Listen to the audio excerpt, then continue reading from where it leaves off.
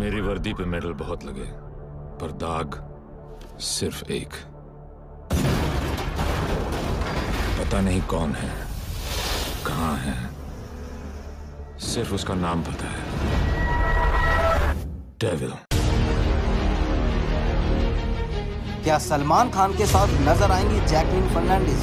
क्या साजिद नाडियाडवाला ने जैकलिन फर्नांडिस को दिया तोहफा? हेलो दोस्तों, मैं नितिन आपका स्वागत करता हूँ बॉलीग्रेड स्टूडियोज में।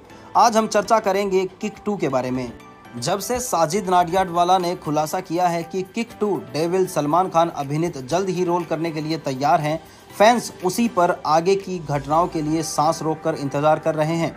लेटेस्ट चर्चा के अनुसार रकुल प्रीत सिंह कथित तौर पर सीक्वल में सल्लू के साथ रोमांस करती नज़र आएँगी।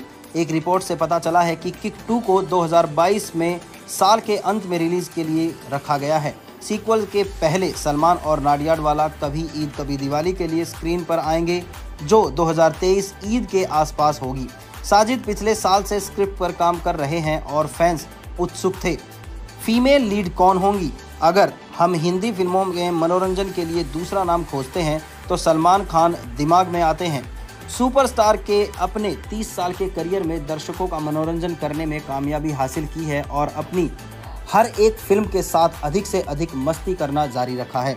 उनकी सुपरहिट फ़िल्मों में से एक सात साल पहले उसी तारीख को रिलीज़ हुई थी, जिस दिन जैकलिन फर्नांडिस की को स्टारिंग किक थी। एक्शन हिट किक फ़िल्मों में सलमान, रणदीप हुड्डा और नवाजुद्दीन सिद्दीकी और अच्छी तरह से कुछ सबके मनोरंजन प्रदर्शन थे। ये एक सफलता बनने में कामयाब रहा। ये भी कंफर्मेशन की गई कि पिछले साल सलमान और जैकलिन के साथ किक का सीक्वल बनाया जा रहा है। पहली फ़िल्म में हमने देखा कि सलमान का किरदार देवी उर्फ़ डेविल छोटे अनाथ बच्चों की मदद करने के लिए बुरे लोगों की दुनिया में उतरता है और अपनी खोज में वो अपनी किक को अपने जोखिम भरे लेकिन बहादुर केयर से बाहर निकालने में कामयाब होता है। फ़िल्म के अंत में डेविल एक पुलिस वाले में बदल जाता है और नए और मज़ेदार तरीकों से अपनी किक की तलाश जारी रखने का वादा करता है। और सलमान और जैकलिन की अगली कड़ी के साथ इसने निश्चित रूप से फैंस को सरप्राइज़ कर दिया है कि ये कैसा दिख सकता है। इसीलिए जैसे ही किक को आज सात साल पूरे हो रहे हैं, हमने उन चीज़ों को लिस्ट करने का फैसला किया है जिनकी हम सलमान और जैकलिन की किक के सीक्वल से उम्मीद कर सकते हैं। जैसे कि जैकलिन किक मूवी में सलमान खान के साथ नज़र आई थी, उसी प्रकार किक टू में भी नज़र आती दिखेंगी। साजिद नाडियाडवाला ने जैकलिन के बर्थडे पर तोहफा दिया है।